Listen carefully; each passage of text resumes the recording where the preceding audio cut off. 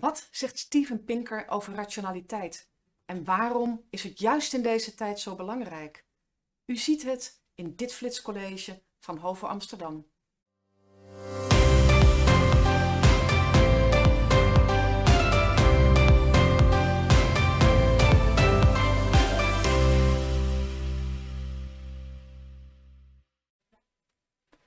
Welkom, eh, dames en heren. Fijn dat u uh, naar dit mini-college over een filosofisch onderwerp kijkt.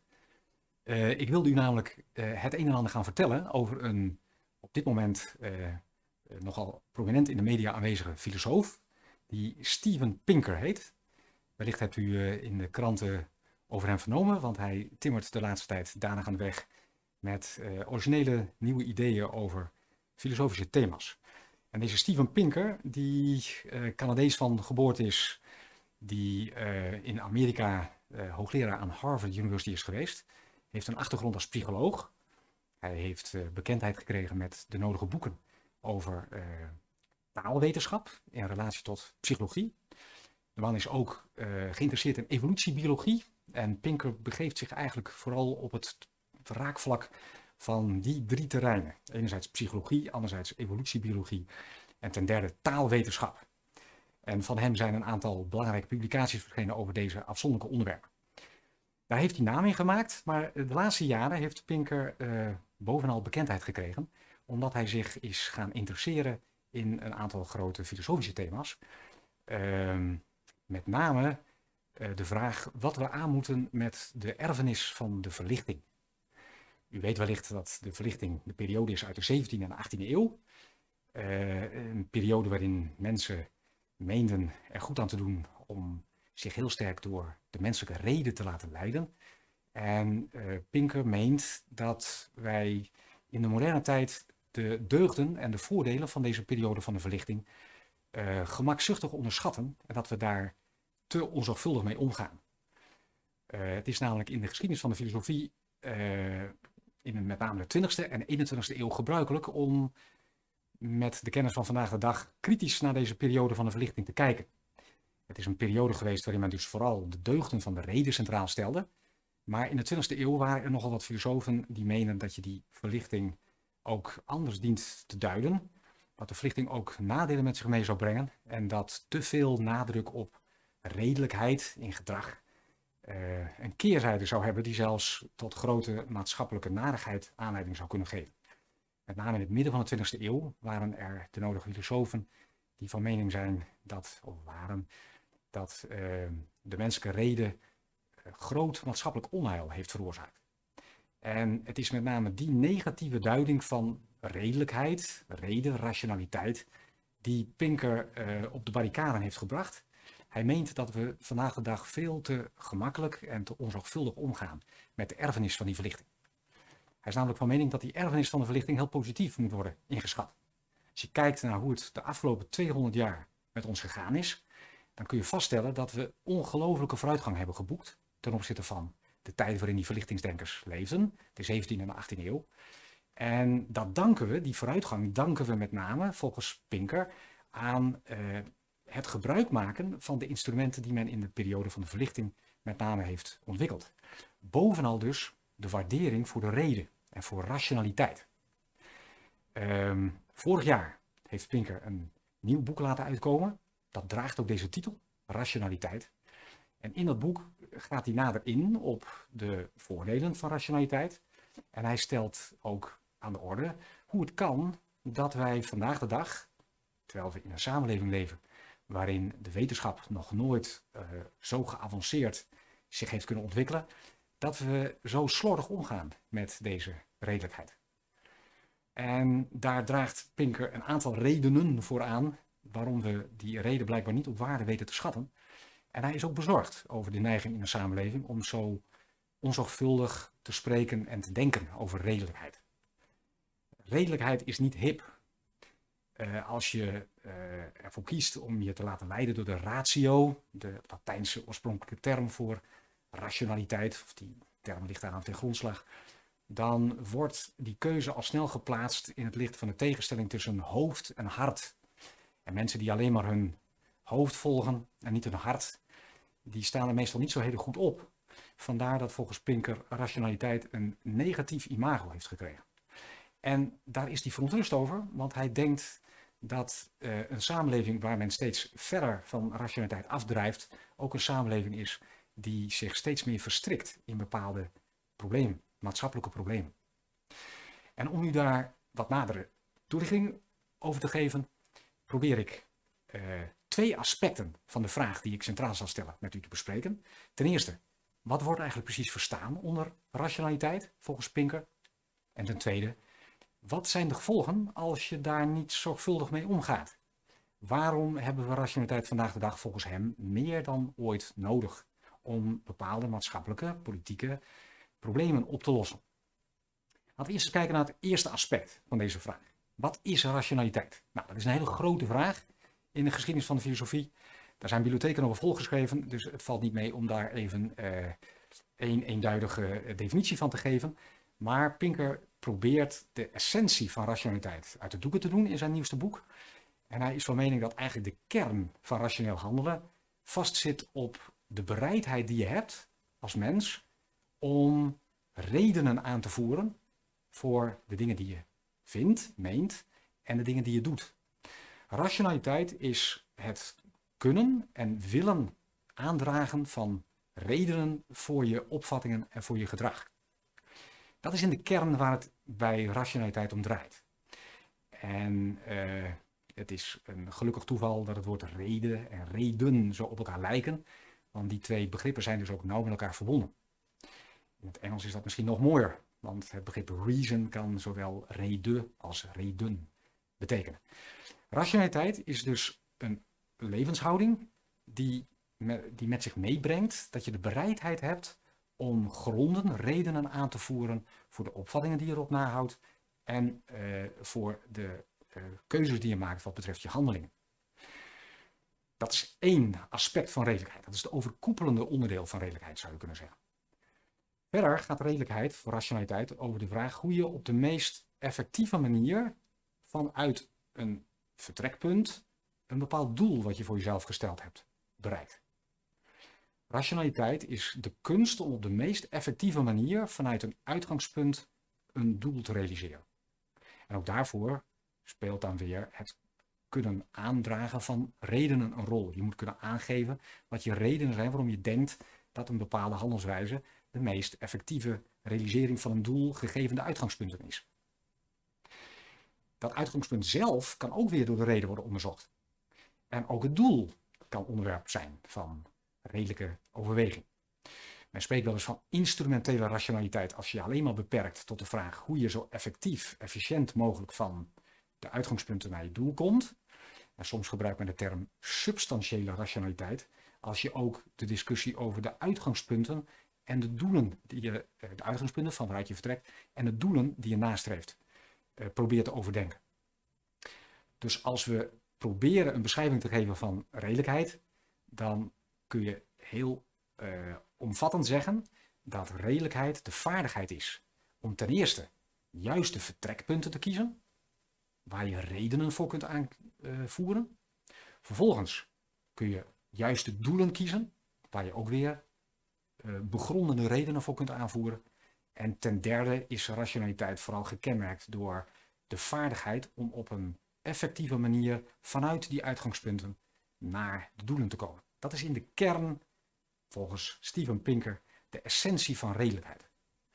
En met zo'n notie van redelijkheid kan weinig mis zijn. Sterker nog, het is niet aan te raden om uh, als vertrekpunt voor je overtuigingen en je handelwijzen te kiezen voor uitgangspunten waar je geen gronden voor kunt aanvoeren. En het zou ook raar zijn als je willekeurige doelen nastreeft, waar je niet goed over hebt nagedacht.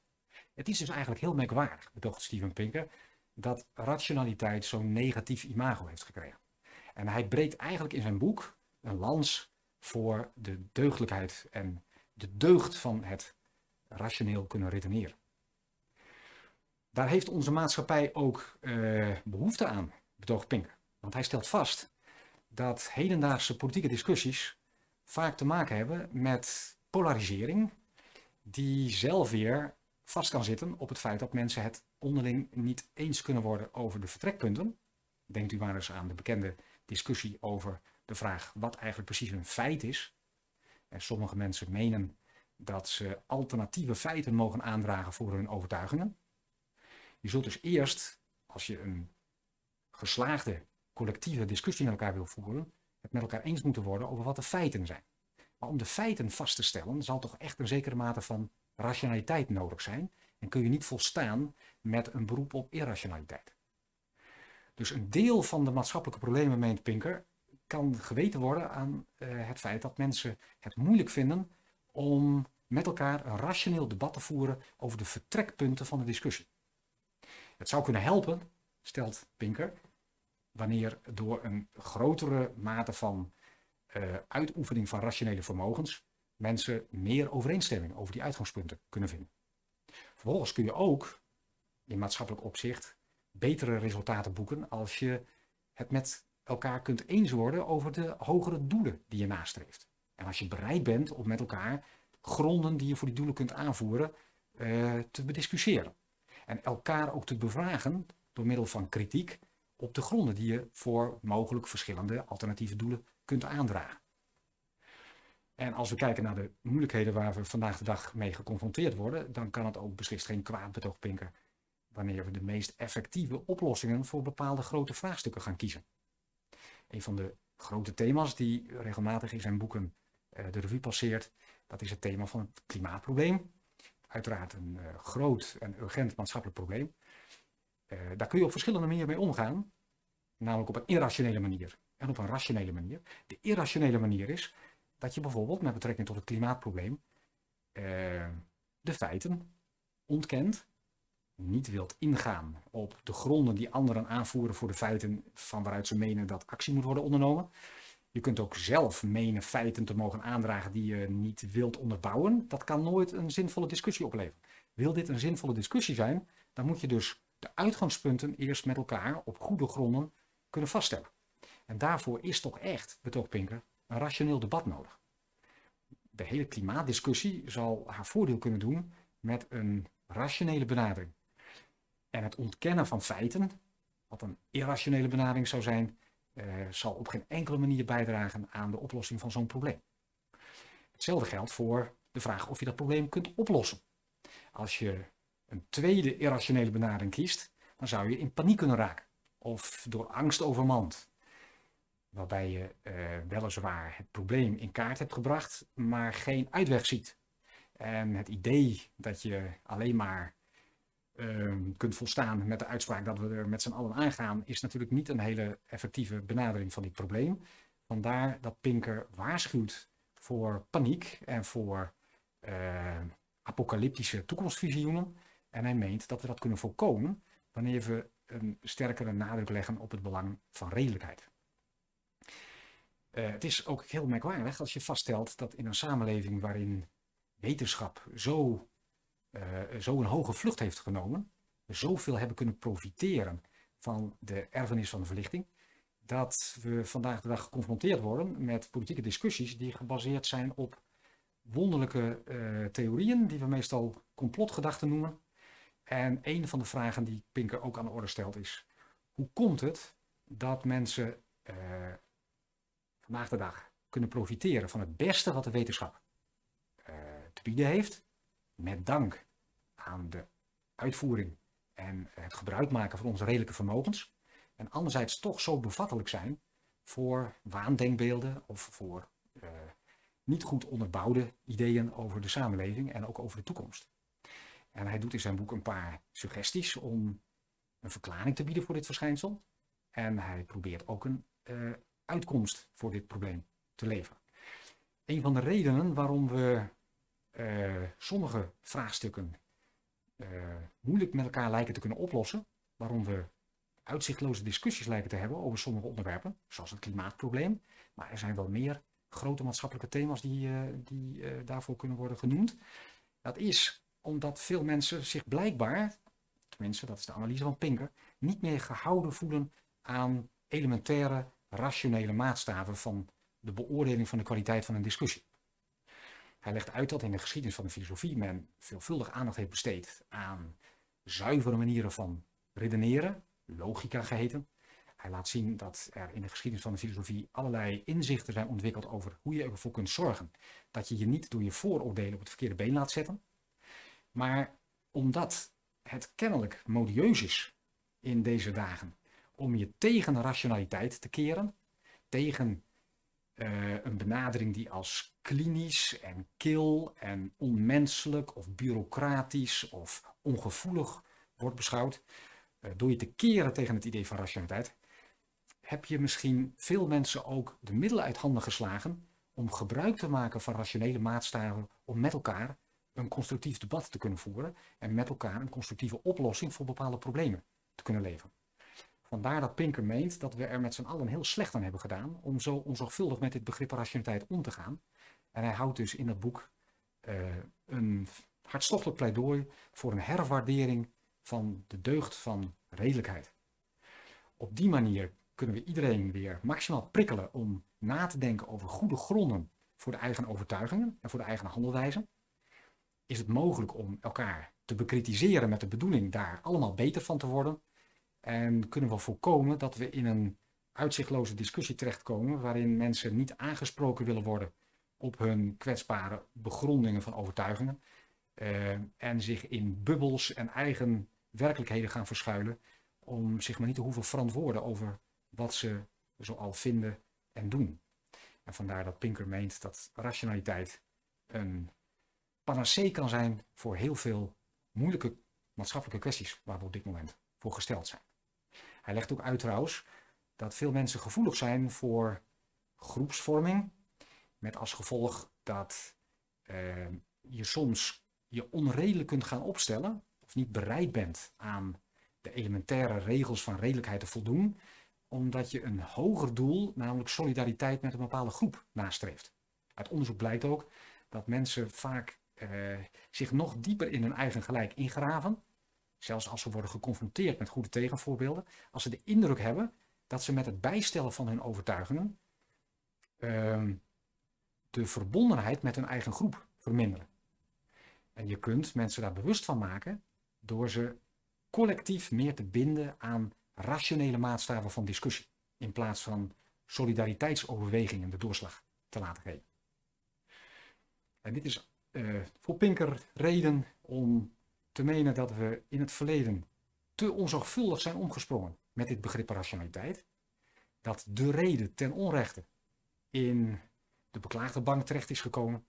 En dat we ons daarom uh, en daardoor beroofd hebben van een van de mogelijkheden, een van de meest effectieve mogelijkheden om weer nader tot elkaar te kunnen komen, meer overeenstemming met elkaar te kunnen bereiken over feiten en ook meer overeenstemming met elkaar kunnen bereiken over oplossingen voor bepaalde problemen.